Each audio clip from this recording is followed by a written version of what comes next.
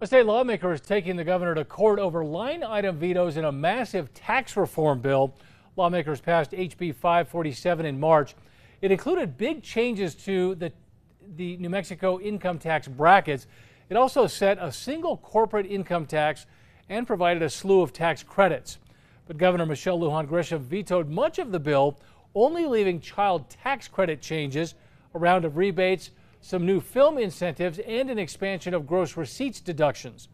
At the time, the governor said she vetoed portions of the bill that she feared were not sustainable. But Democratic Representative Miguel Garcia has filed a lawsuit asking the state Supreme Court to invalidate those vetoes.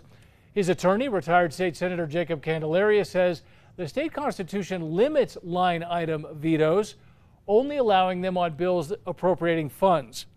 Candelaria says this tax bill does not do that and that the lawsuit is about protecting legislative authority under the separation of powers. The governor's actions here uh, are an affront to that principle.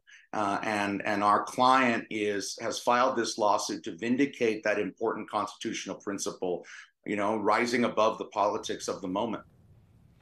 The lawsuit aims to enact the tax reform bill as written.